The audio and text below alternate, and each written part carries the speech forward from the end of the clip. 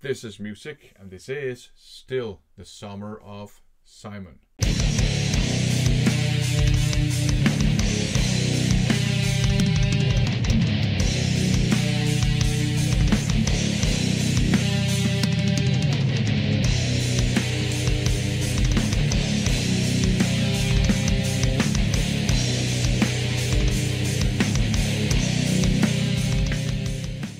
Welcome to another episode of the Summer of Simon. It's a sub series of the First Impressions series. And in this sub series, I share with you my first impressions of, and uh, basically, I follow up on the items in a VCLT that was very overwhelming that was sent to me by none other than Simon from the Pieface channel. Go and check out his channel. This time I have a handful of CDs, so let's get down to business. Up first, uh, the Open Door by Evanescence. I do have the Digipack stored somewhere else. Don't you worry, don't you panic, don't you care, because it's my collection. Anyways, uh, Evanescence, they are a band I never really got into. I'm too old, uh, and by that I mean I'm not of the generation that got into this style of music.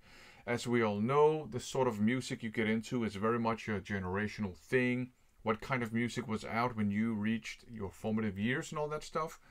Uh, but this is not bad. The vocals are very good. To me, the vocals are the key point, the attraction point uh, to this uh, album. I don't remember the singer's name, but she has a very good voice. Um, the instrumental part, the music, is a little bit more meh to me, if I'm being honest.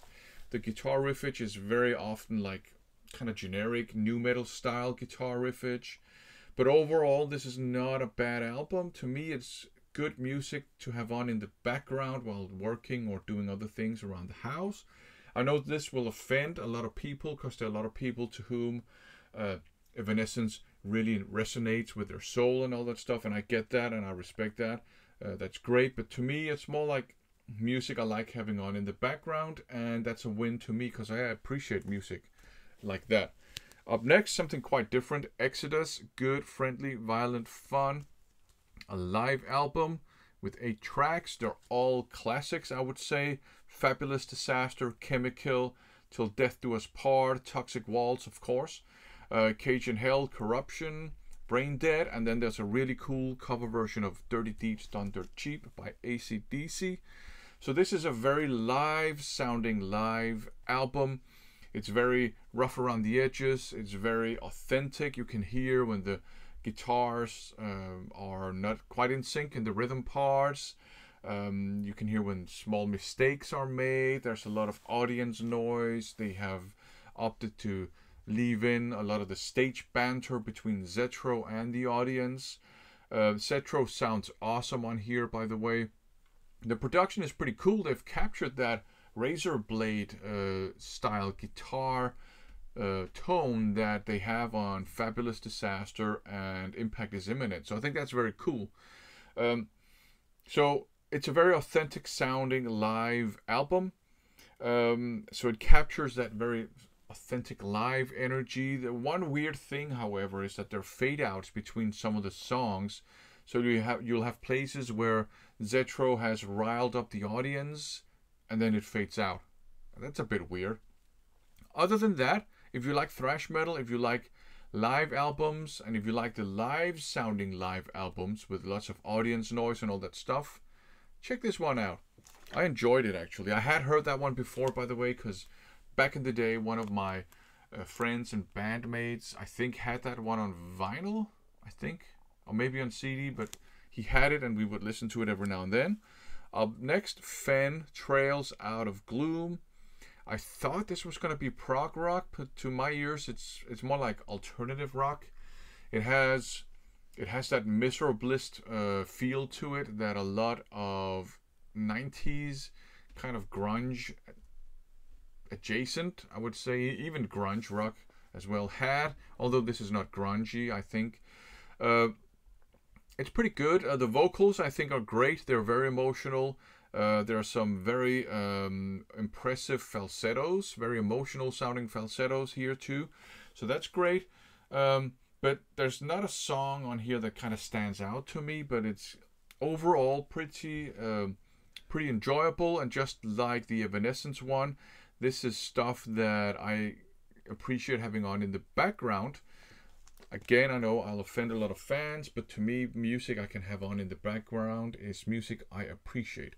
And I can't have any old type of music on in the background. If it's if I don't like it, I I can't concentrate uh, on whatever I'm doing. So it is music I like that I have on in the background. Up next, Hawkwind. And this one is called uh, Do Re Mi Fa Sol Li uh, Fa Sol La Ti Do. So you know, uh, scale or whatever. So this this is prog rock, space rock. Lemmy is on here, and you do hear his voice. Um, so it's very psychedelic uh, from back in the day, and then you have a layer of spacey sounding keyboards on top. Uh, it's very repetitive, very uh, entrancing, I would say.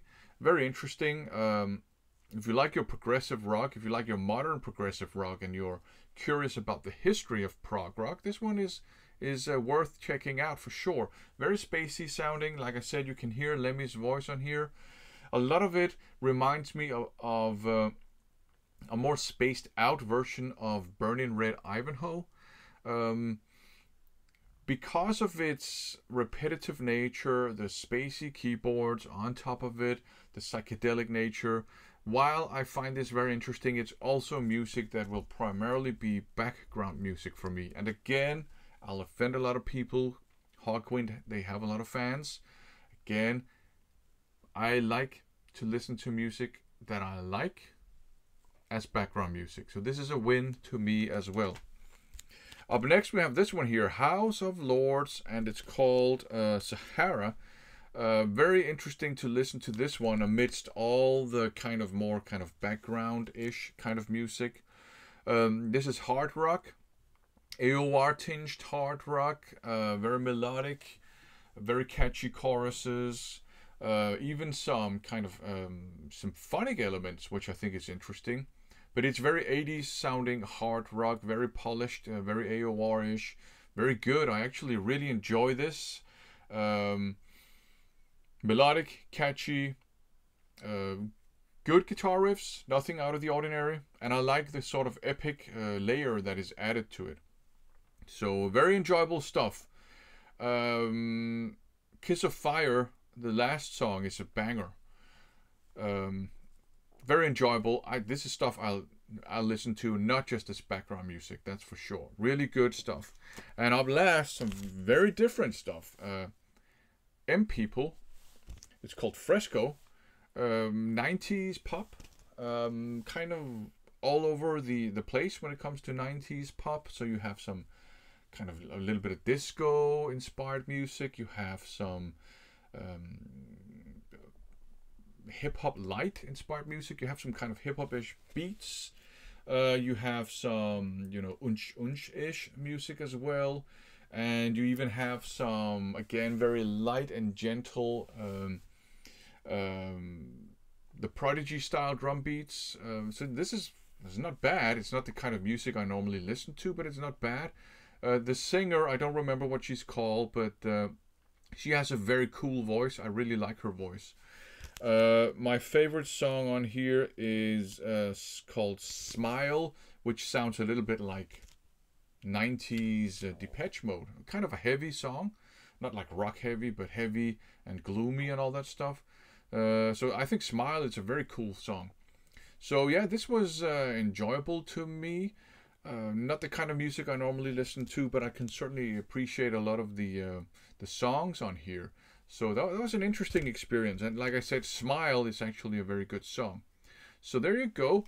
Uh, in this case, a lot of music that I can appreciate as music in the background, and then you have a couple of of these CDs that kind of stood out a little bit more to me. Uh, but there you go. Go and check out the Pieface channel. For now, thanks for watching.